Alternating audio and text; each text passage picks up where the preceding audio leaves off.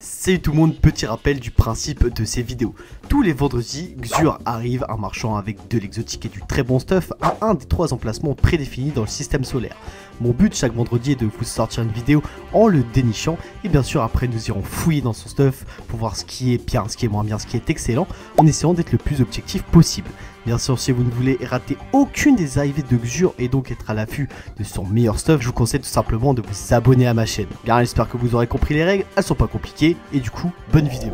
Bon, le Xur d'aujourd'hui, les gars, on va pas y passer une éternité. Hein. Il, se trouve, euh, il à la ZME, vous spawnez ici, vous allez au, hangar. Et euh, donc, on va voir quand même ce qui est bon à prendre et surtout ce qu'il faut pas prendre. Pour pas que vous perdiez votre temps surtout. Alors, on commence toujours par l'équipement exotique bien sûr. Cristal de Prométhée, c'est un très bon fusil à rayon. J'ai envie de refaire un build avec. Il a été un petit peu périmé avec euh, les, builds qui sont arrivés. Mais j'ai envie de refaire un petit build avec, ça peut être pas mal.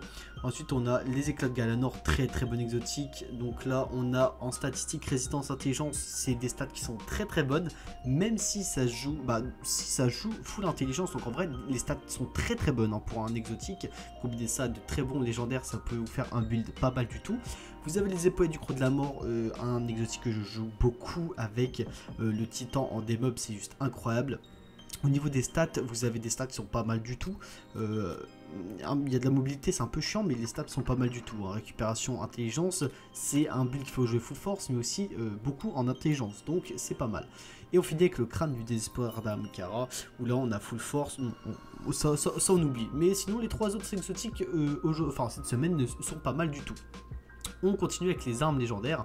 Et euh, bah non, on continue avec les armures légendaires. Hein, parce que les armes légendaires, je vais pas vous faire le topo, il n'y a rien qui est bon. Ne prenez rien du tout. Là, je vous montre avec Arcaniste hein, euh, les, armures légendaires, mais il faut aller voir, comme, euh, je dis chaque, chaque week-end, pardon, avec les autres persos, il y a toujours des trucs assez intéressants. On commence avec un résistance intelligence, là, franchement, vous avez des bras juste magnifiques, vraiment, faut y aller, faut le prendre.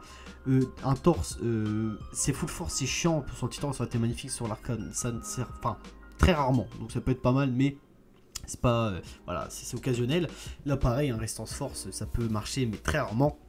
Et là, alors là, les gars, vous avez pas mieux. Alors là, pour l'arcade, vous n'avez pas mieux. Récupération de discipline, vous n'avez pas mieux pour les builds arcanistes. Ces jambes sont juste magnifiques, je les ai déjà prises, hein, c'est pour ça que je les prends pas. Les jambes et les bras sont magnifiques. Cette semaine, c'est peut-être ce qui sauve Xur. Et ce qui va le sauver aussi, c'est au niveau des armes exotiques, son rapace noir. Que vous pourrez aller chercher si vous êtes un grand fan du rapace noir et que vous n'avez pas de, de bon rôle. Parce que vous avez un télémètre qui est lâché, qui est juste la meilleure perk sur le rapace noir. Et donc je vous conseille tout simplement d'aller le prendre rien que pour ça.